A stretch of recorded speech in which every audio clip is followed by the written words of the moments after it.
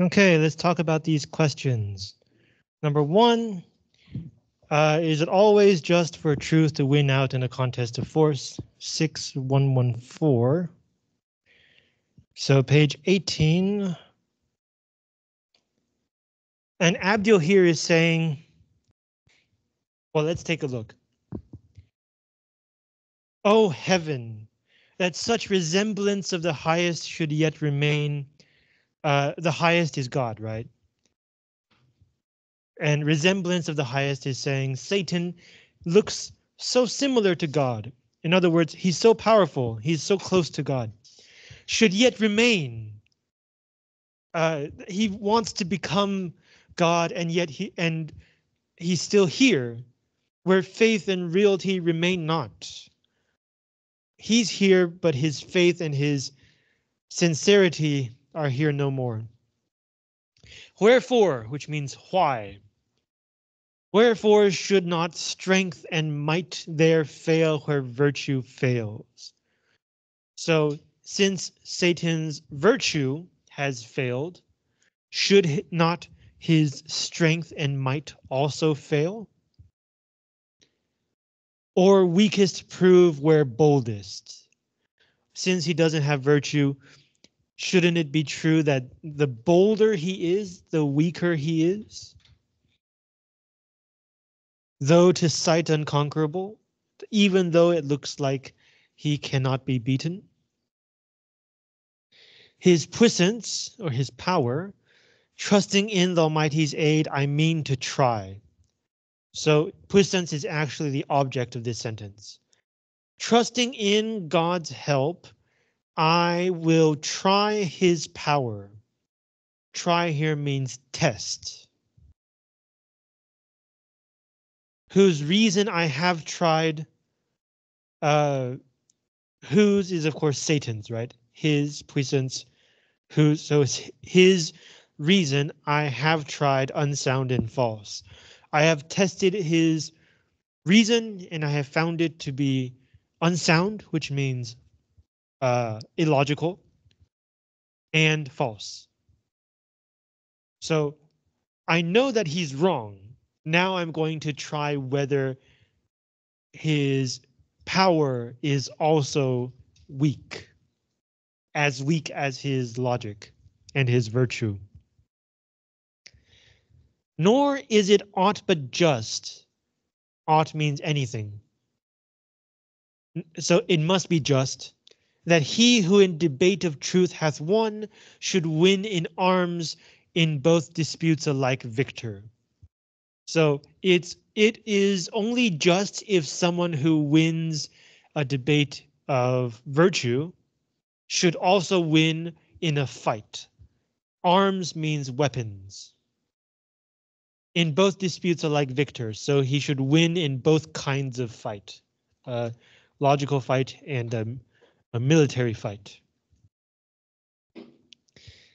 Though brutish that contest and foul, so even though fighting is a brutish and foul thing, brutish means like an animal. Foul means dirty. So even though fighting is brutish and foul, when reason has to deal with force, yet so most reason is that reason overcome. So when someone who is right does have to fight to prove it, it is only when reason wins the fight that it is most reasonable. Uh, I guess in Chinese, this is something like uh, 攻克超越的真理才真正是真理. Something like that. So back to the original question. Does this make sense? Two groups took this question and they disagreed. One group says it is not always that the truth will win in a fight. Sometimes the winner of the fight will be the wrong side, simply because power and truth are two different things. The other group says that this might be true, or this might be correct, but when truth does win in a fight, only then can it be called just. Uh, and so when Abdiel is saying something like, uh, I have already won the debate, now I just need to win the fight to prove it, it's not a logical connection, it's a it's a motivational connection. He's trying to motivate himself. He's gearing up for the battle. He's trying to raise his morale. 在振奋自己士气. Uh, he believes that only this kind of outcome would be just, and therefore it is his job to realize that just outcome.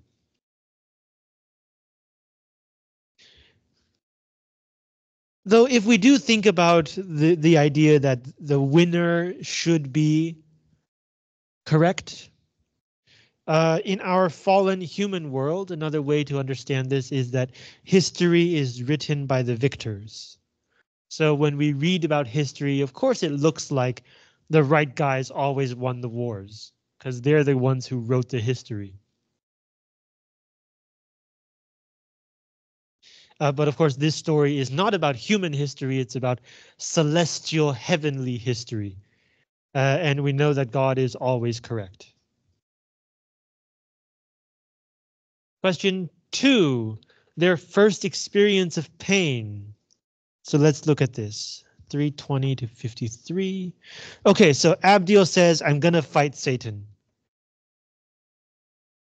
Uh, and so you can imagine, right? The two armies are standing facing each other, and then Abdiel comes forward, and then Satan comes forward, and they fight angel to angel, man to man. Um, 316. Together both with next to almighty arm, next to means almost. So their weapons are almost as powerful as God's weapons Uplifted imminent one stroke they aimed that might determine. So they both raised their swords preparing imminent means about to happen. So they're preparing to try to win the fight with one stroke. 划一刀把人家击毙. Uh, determine means end, to end the fight, to decide the fight. And not need repeat as not of power at once.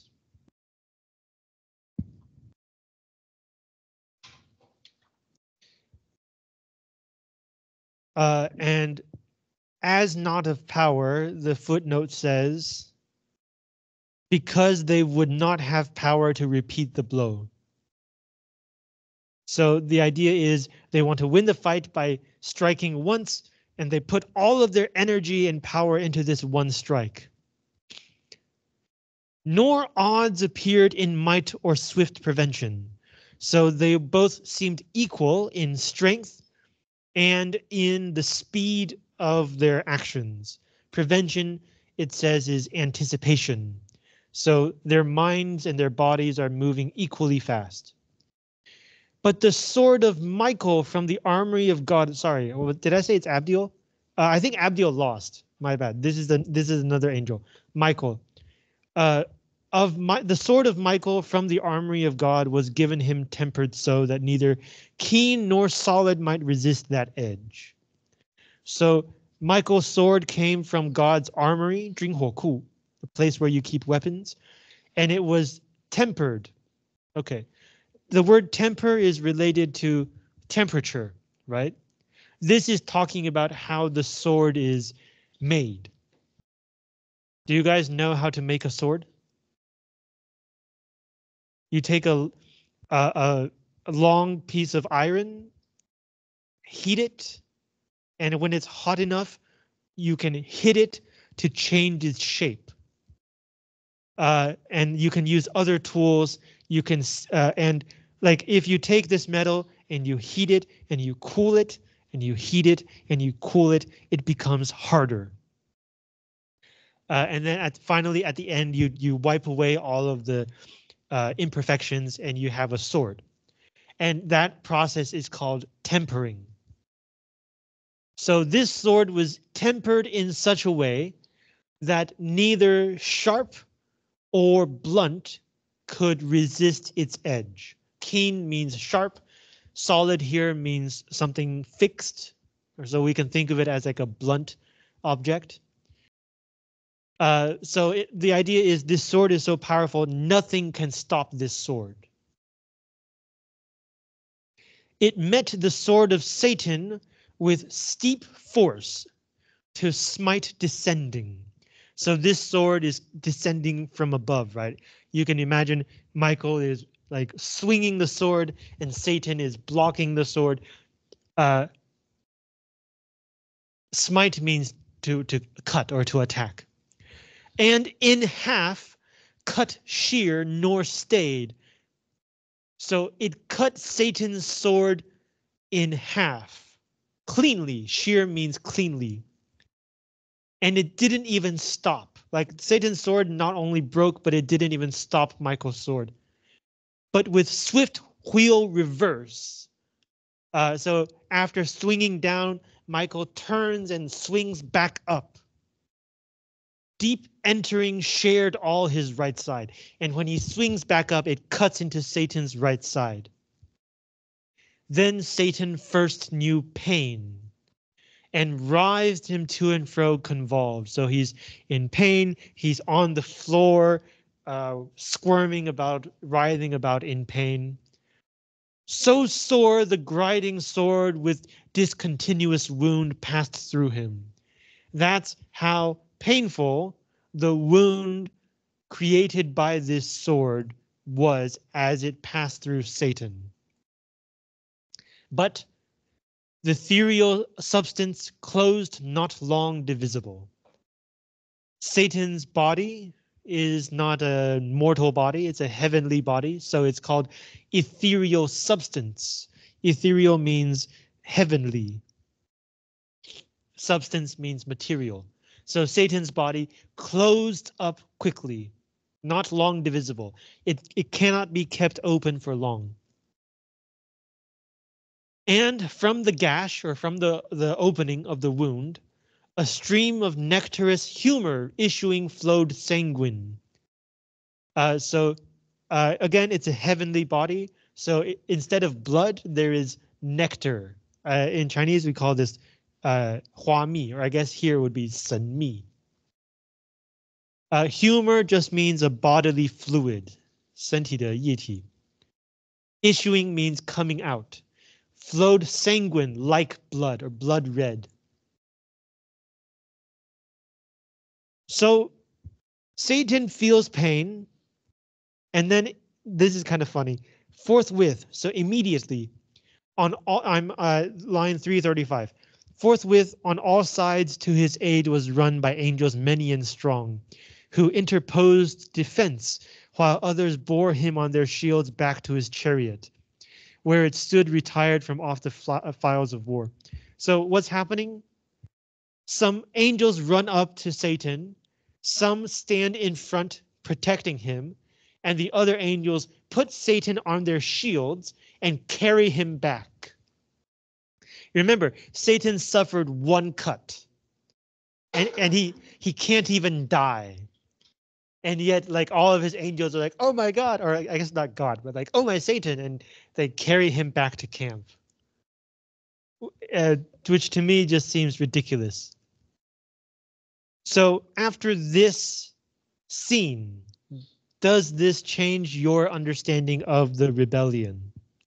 One group or i guess two groups uh, took this question one group said yes because you know they're saying like we're as powerful as God, we should be in control of heaven. But look at what happens the first time they are attacked.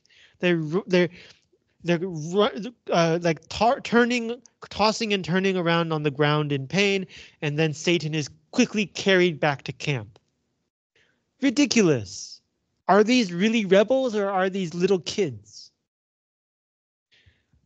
The other group said it did it did not change their view of the rebellion because the rebellion was stupid to begin with. God is almighty, all powerful, omnipotent, all knowing. There's no way the rebellion could succeed.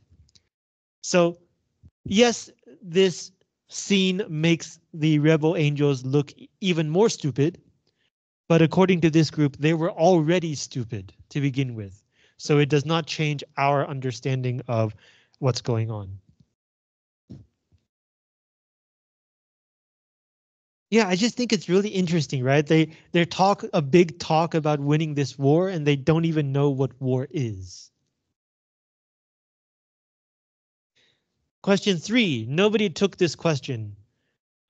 Uh, so let's take a look at this. This question is about using jokes and puns. 558.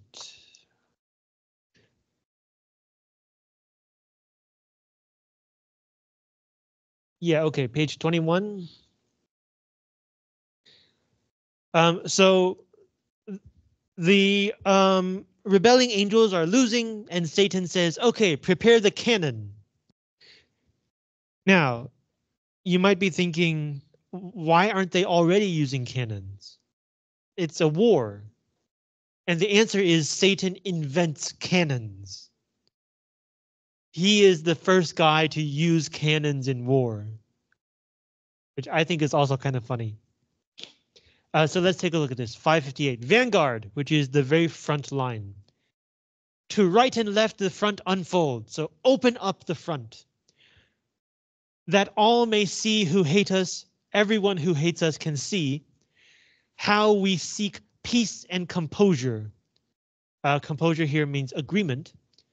And with open breast, uh, today we would say open arms, stand ready to receive them if they like our overture. So it looks like he's saying, uh, front line, stand aside, show the other side that we're willing to look for peace if they are also willing to look for peace. But what he's really saying is stand aside so that they can receive our cannons, our cannon fire. Overture is an initial action seeking peace. But here Satan is saying our initial cannon attack. And so instead of receiving like a negotiation party, the other side will be receiving cannon fire. Uh, 562 and turn not back perverse. So don't turn around. But that I doubt, however, witness heaven heaven witness thou anon, while we discharge freely our part. So as heaven is our witness, uh, don't doubt us, for, for soon you will see heaven witness thou anon, you heaven will see soon, anon means soon, while we discharge freely our part.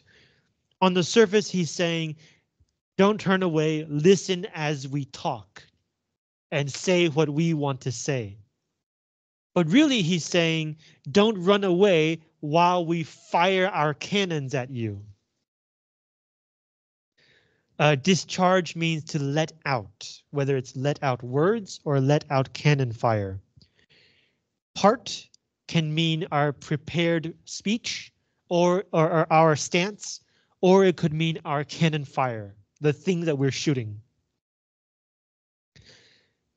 Ye who appointed stand do as you have in charge, and briefly touch what we propound and loud that all may hear.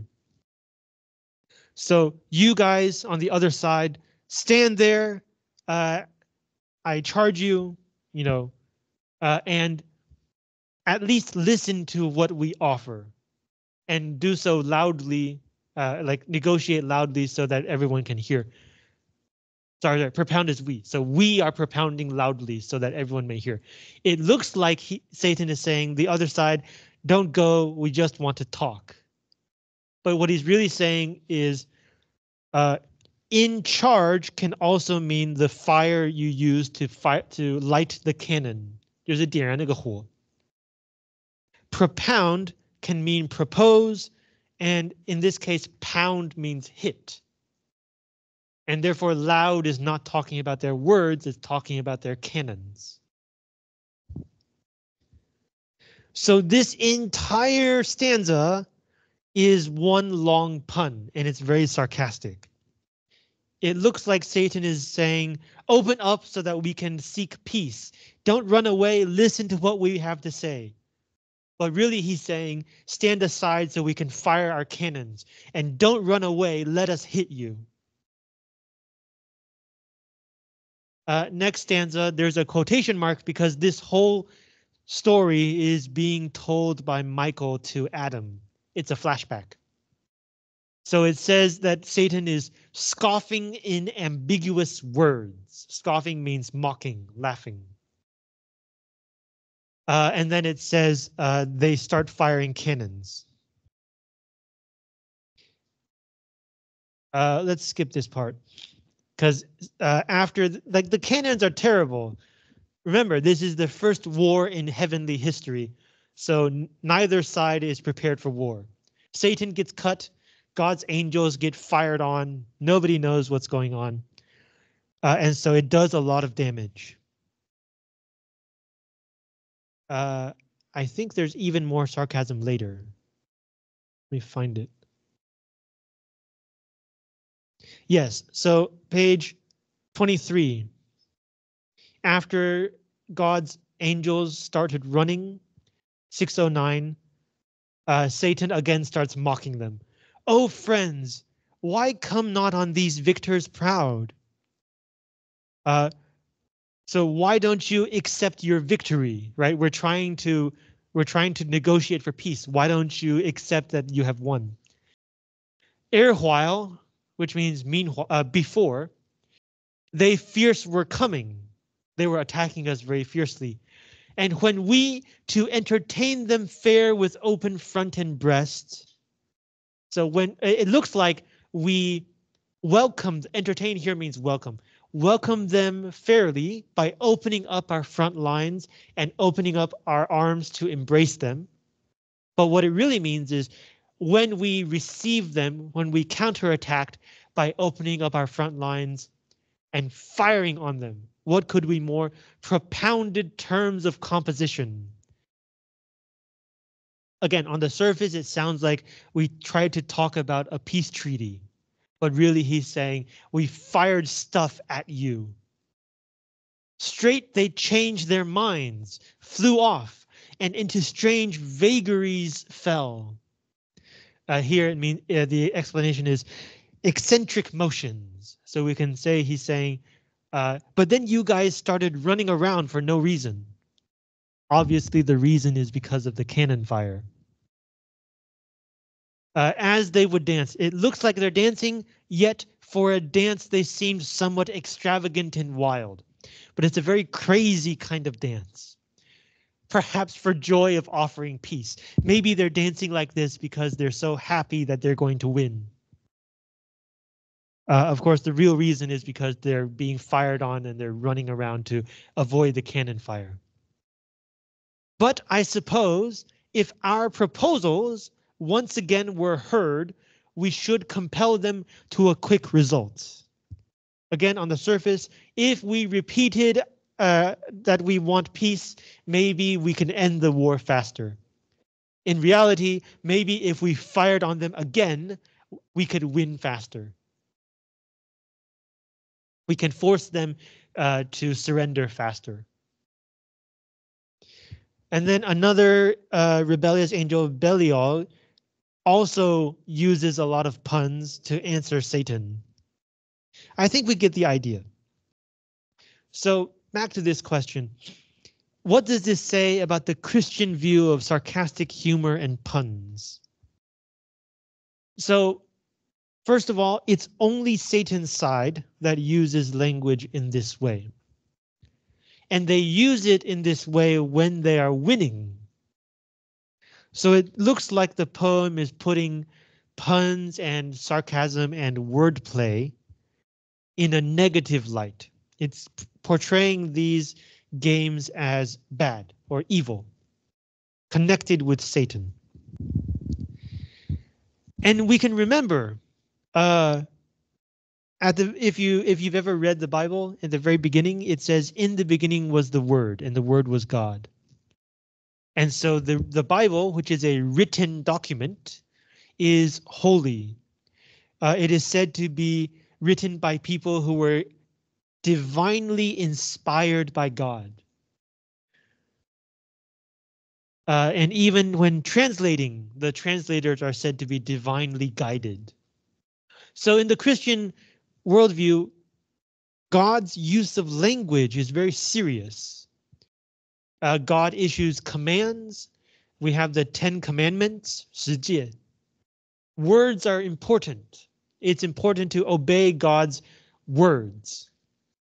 So when Satan and his army are making jokes and making puns. They're giving one word two meanings. They're corrupting the language. And in this case, it's not human language. It's God, it's heavenly language.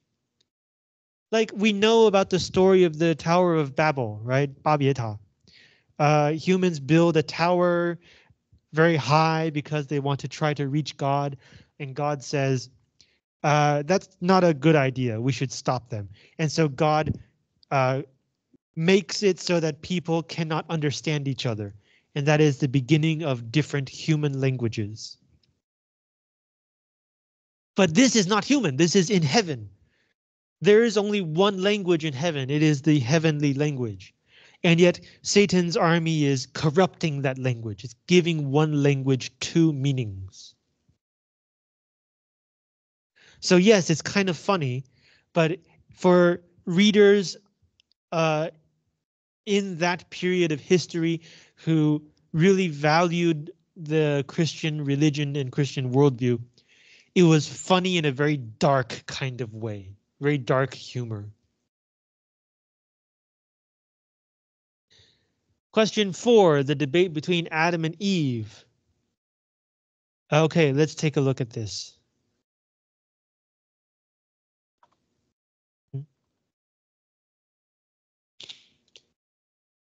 Right, so page 24. This is Eve. Um, so um, at, at this point, they have received some messages from God through various angels. Uh, one of these messages is uh, you should help take care of the Garden of Eden.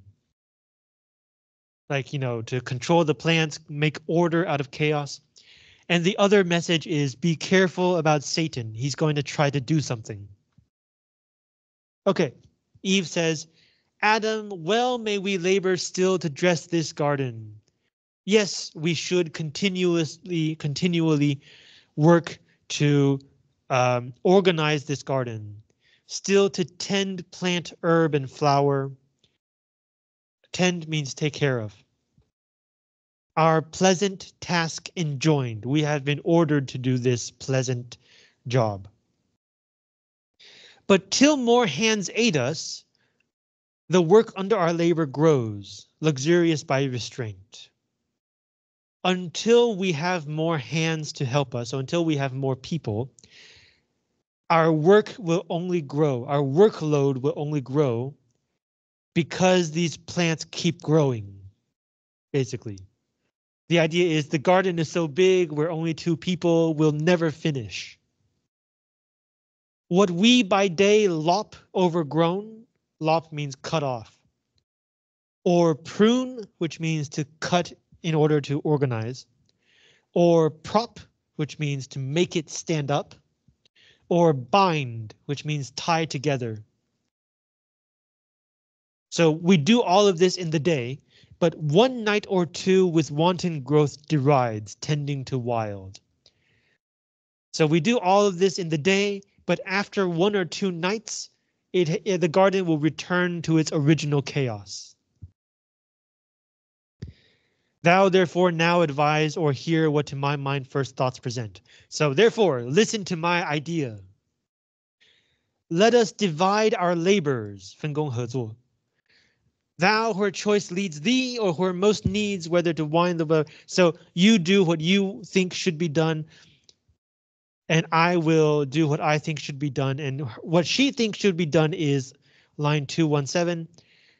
While I in yonder spring of roses intermixed with myrtle find what to redress till noon. So she's saying you can go take care of those plants. I'm going to go play with flowers. Uh, and then she gives her reason, 220. For while so near each other thus all day, our task we choose, what wonder if so near looks intervene and smiles or object new, uh, sorry, object new casual discourse draw on. So we're so close to each other all day. It would be no wonder if we keep looking at each other and smiling at each other, or if we start chatting and that this interrupts our day's work so that we finish only a little bit of work every day. Even if we begin early, though begun early, and the hour of supper comes unearned, and therefore when we have dinner, we will not have worked enough to deserve to eat dinner. This is a very uh, Protestant way of thinking about this，非常新教的思维。呃，科尔文教派 Calvinism says like the harder you work, the stronger the signal that you are one of God's chosen ones。如果你人生越努力，越是呃是个迹象说你是上帝预选之人之一。So uh, a lot of Protestant churches really value hard work. Uh, and so it, Eve is saying if we don't work hard enough, we don't deserve to have dinner. Uh, did I mention that Milton is a Protestant? 米尔顿是新教徒. So like in this poem, it's not just about biblical history, it's also about theology. 也有一些神学的一些概念在里面。uh, and then Adam gives an answer. Uh, he begins by praising Eve. But then he gives his actual response, line 235. Yet, which means but, right? Well, you're, you're such a great woman, you're so smart, but not so strictly hath our Lord imposed labor as to debar us when we need refreshment. So yes, God asked us to do this work, but he's not so strict as to prevent us when we need rest. Whether food or talk between food of the mind. So that rest could be in, in the form of food, in the form of conversation, which he calls food of the mind, or this sweet intercourse of looks and smiles, or even if we just exchange looks, exchange smiles, and he's saying, smiles from reason flow, to brute denied. So animals cannot smile because animals don't have reason, Li Xing, and are of love the food, love not the lowest end of human life. Smiling is the food of love, and love is pretty important for human life. For not to irksome toil, but to delight he made us. Irksome toil is annoying work. So God created us not to work, uh, do this annoying work, but to enjoy life. And delight to reason joined, and it is reasonable to enjoy life. Uh, and then Adam is saying, don't worry about the work. When we have children later, we will naturally be able to do more work in the future. And then line 251, Adam gives his counter argument. So this previous section is a response, it's a rebuttal, 在反驳. Here he gives his own argument why they should stick together.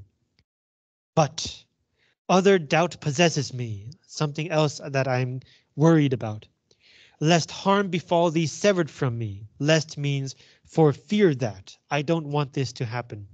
I don't want you to be hurt. To befall someone means to happen to someone.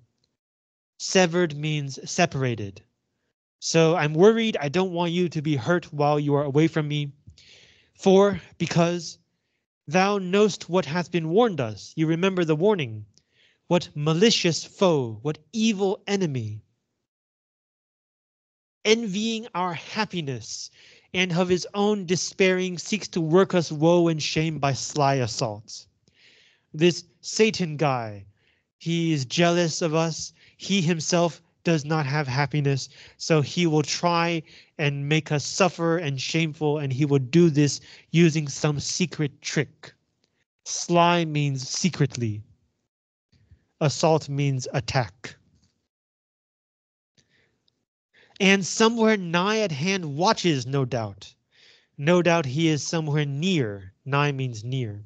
He's watching us with greedy hope to find his wish and best advantage us asunder. He's just waiting for us to separate so that he can have a bigger advantage. Because he's hopeless to circumvent us joined. When we are together, he has no hope to beat us. Circumvent means to go around. Here it means to defeat us. Uh, because when we're together, where each to other speedy aid might lend at need. So if we're together, we can quickly help each other. And then he's saying no matter what his plan is, his plan may be to turn us against God. Maybe his plan is to turn us against each other. Um, but the safest thing to do is to stay by my side. Safest and here, this is line 268. Safest and seemliest, which means most proper, by her husband stays, who guards her, or with her the worst endures. It's best to stay by your husband. Your husband will protect you. If he can't protect you, at least you will suffer together. And then Eve gives her response, again, starting by praising Adam. Oh, you're a great guy, whatever. But, again, that but, line 279. But that thou shouldst my firmness therefore doubt to God or thee because we have a foe made tempted, I expected not to hear. The subject is I. I did not expect to hear you doubt my firmness of mind, my determination in relation to God or to you, simply because we have an enemy who might try to tempt us. So basically, she's saying, How can you doubt me? I'm your wife. Uh, and then his violence thou fearest not being such as we not capable of death or pain can either not receive or can repel. So she's responding to Adam's ideas. What if Satan tries this? What if Satan tries that? And she's saying, no, this won't work. That won't work. And she gives reasons. Therefore, we don't have to be afraid of Satan. And then Adam gives his reply, uh, again praising Eve. And then he says, not, uh, this is line 293, not diffident of thee do I dissuade thy absence from my sight. I'm not trying to keep you here because I don't believe in you, but to avoid the tempt itself intended by our foe. I'm trying to keep you here so that Satan doesn't try something. Like if we're separated, he might think he has an opportunity. And even if he doesn't actually have a chance, he might try anyway. And his idea is that if Satan tries something, it would be dishonoring us because we gave him the chance. Uh, even if he fails. And on the next page, uh, and so he's saying, therefore, we should always stick together and don't give Satan the chance. Next page, line 322. Eve replies, if this be our condition. Remember, notice she did not say, oh, Adam, you're such a great guy. She jumps directly into the debate. If this be our condition, if it is true, thus to dwell in narrow circuit straitened by a foe, subtle or violent. If we can only live in fear of Satan, if we have to always be careful, uh, we not endued single with like defense wherever met, how are we happy still in fear of harm? How can we always be happy if we are always afraid? And then she responds to Adam saying, if Satan tries something, it is not our dishonor, it is his dishonor. It's not our fault if Satan tries something. Uh, And then Adam says, uh, again, oh, uh, you are such a great woman. Next page. Um, he says, God did give us free will, but he also gave us this warning, and we should probably listen to the warning.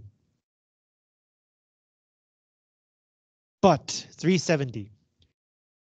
But if thou think trial unsought may find us both secure, then thus warned thou seemst go. If you really think that it would be better to face Satan separately, even though you have been warned, fine, you can go. For thy stay not free absence thee more. If you're staying only because I force you, it's like you have already left. 人在心不在. So if you really want to go, go. And that is the end of the debate. You will notice that Adam still thinks that Eve is wrong, but he lets Eve go anyway. Um, and the key point, as two groups who chose this question noticed, the key point is free. If you're staying here because you are not free to go, then it's like you're not here at all. So it does seem like the poem is saying the most important value is not rational debate. Eve loses the debate. But Adam lets her go anyway because to Adam free will is more important than being right. Uh, and in fact, this is the same thing that God says. Last week we saw God say, I know humans will make this mistake. I can see it. But I gave them free will, and that is more important because if I force them to listen to me, there's no value in that. They have to choose to listen to me. So Adam is doing the same thing that God has done. Uh, and then the last question, the serpent's argument about the forbidden fruit. So Eve is walking around by herself. And suddenly she sees this serpent praising the forbidden tree the serpent is talking and Eve goes over and says, Hey, you're a snake. How are you talking? And then uh, Satan says, Oh, I ate this fruit and it let me talk and it maybe it can help you too. And Eve is like, OK, what fruit are you talking about? And Satan says, uh, Follow me, I will bring you there. Page 29. The way is ready and not long. So I know where it is. Follow me. Line 630. I can bring thee thither soon. Thither means there. And Eve says, OK, let's go. And they go and they see the tree. And Eve says, No, no, no, no, no. Wait, that's the tree God says we can't eat because we will die. Um, and this is what she's saying, right? Of the fruit of each tree in the garden we may eat, but of the fruit of this fair tree amidst the garden God had said, You shall not eat thereof, nor shall ye touch it, lest ye die. Uh, and then Satan on page 30, uh, and the poem says, like, Satan's speech is more persuasive than any speech in ancient history. And Satan says, uh, line 679, first, he says, Oh, sacred wise, and wisdom giving plant. So remember, in the debate between Adam and Eve, they praise each other, but here Satan is praising a tree. And then he, he gives some reasons why it is good to eat. 685. Those rigid threats of death do not believe, ye shall not die. How should ye? By the fruit, it gives you life to knowledge. By the threatener, so if you eat it, will God really kill you? Look on me, me who have touched and tasted, yet both live and life more perfect have attained than fate meant me by venturing higher than my lot. So he's saying, look at me, I ate the fruit, I'm still alive, my life in fact has gotten better much better than uh, I would have been allowed as a simple snake. My lot means my destiny. Shall that be shut to man, which to the beast is open? If I, a snake, can eat it, why can't humans? Or will God really kill you just because of this little thing? And then Satan goes on to say, uh, is this rule really a good rule? Of good, how just? Of evil, what is evil be real? If what is evil be real, why not known since easier shunned? It, the fruit is knowledge of good and evil. So why does God not let you have this knowledge? And then he says, it's because God is afraid that if you gain this knowledge, you will be as powerful as he is. Opened and cleared, and ye shall be as gods, knowing both good and evil as they know. Uh, and so Satan is saying, first of all, I did it, nothing happened to me. And he, then he's saying the rule doesn't make sense. And then he's saying God only gave you this rule because he's afraid of you. And what are, this is the next page, 31. And what are gods that man may not become as they? Why can't humans become gods themselves? And then after his speech, Eve he ended, and his words replete with guile into her heart too easy entrance won. Because his words were so sneaky, they entered into Eve's heart. And so she looks at the fruit, and then look what happens next. She says, Great are thy virtues, doubtless best of fruits. Now Eve starts to praise the fruit. This is like idolatry. 有点在在拜树拜果. Right? This is not worshiping God. This is worshiping a tree and worshiping a fruit. And then on the next page, uh, reaching to the fruit, she plucked, she ate. So yes, she was successfully seduced. And uh, next week we'll begin reading from here. To go back to the question, what could is this convincing? And uh, is there a specific point? Two groups took this question and they both think that the specific point that is most convincing is when Satan says, I ate the fruit, look at me, I'm fine. In fact, I, I can now talk. Uh, and both groups believe that the personal example is the most convincing part of Satan's argument. It's also the most dangerous part of his argument when he's saying, does this rule make sense? Why would God do this? You can argue with him. But when he says, I did it, look at me, you can't really argue with that. The logic is perfect, but Satan is lying because he did not actually eat the fruit. So sometimes just looking at the logic of an argument is not enough. You have to look at the entire situation. Is there some knowledge that you don't have? Is there some information that you don't know? Okay, uh, questions? Right, next week, finish the selections of the poem, and then I will introduce the midterm exam. The exam will be a one week take home online exam. Okay, see you next week.